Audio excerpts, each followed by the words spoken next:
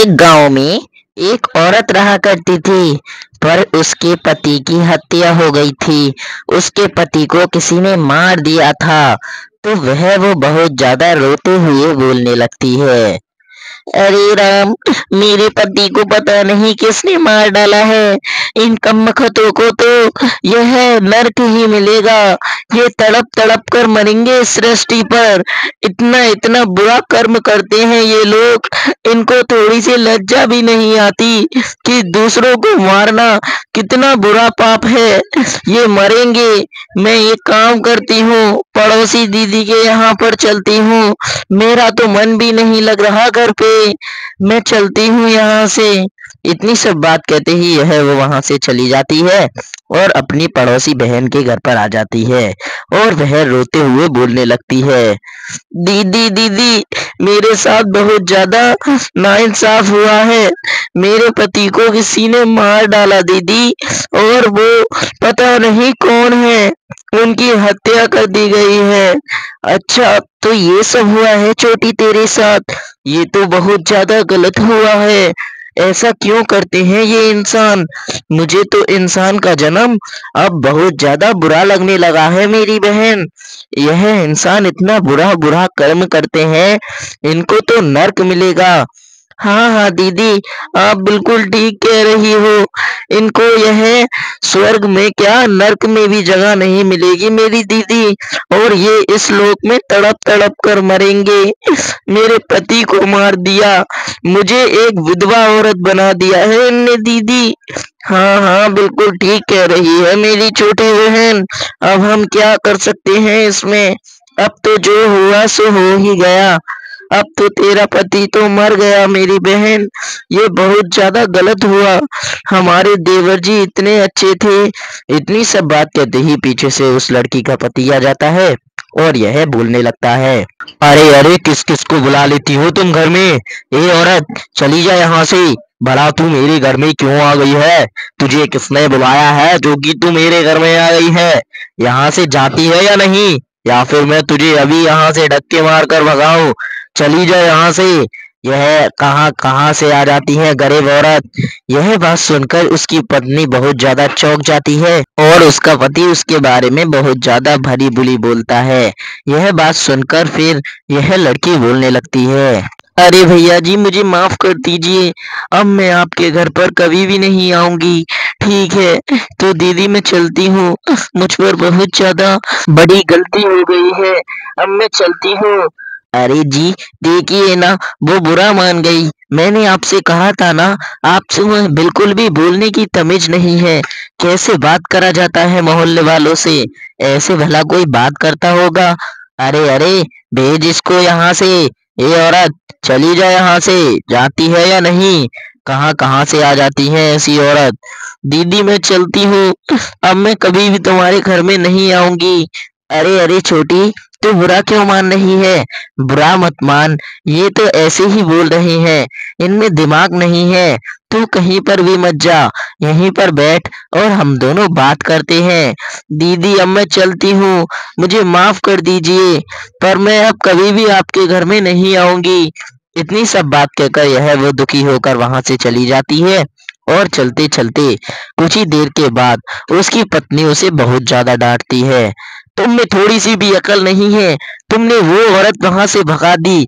वो मुझसे बात करने आई थी। पता नहीं किस इंसान ने उसका पति मार दिया। उसके बुरे कर्म होंगे और वो तड़प तड़प कर मरेगा। उसको नर्क भी नहीं मिलेगा। और तुम हो तो ऐसी ऐसी बातें कर रहे थे उससे। अरे अरे, तू भी पागल हो गई है। क्या ऐसी औरतों के संग रह रहकर तुझे बहुत ज़्यादा मारूँगा। मुझे गुस्सा आ गया तो अभी। चल चल, मुझसे बात मत कर। कैसी कैसी बातें कर रही है पागल औरत? कुछ ही देर के बाद यह वो लड़की अपने घर पर जाकर पहुँच जाती है और वहाँ जाकर बहुत ज़्यादा रोने लगती है और बोलती है, अरे भगवान तूने तो मेरा पति छीन लिया और ऊपर से लोग बागों से इतनी भरी बुली, यह मैं सुन रही हूँ। मुझ पर तो रहा भी नहीं जाता इस दुनिया में अब। मैंने यह क्या बुरा कर्म किया है भगवान, जो कि तू मुझे ऐसी सजा दे रहा है? मैं क्या करूँ? मेरे तो कुछ समझ में नहीं आ रहा। इतनी सब बात कहकर यह लड़की उसी जगह सो जाती है। और उसकी आँख लग जाती है। कुछ ही देर के बाद उसका पति कब्रिस्तान में एक भूत का रूप धारण कर लेता है।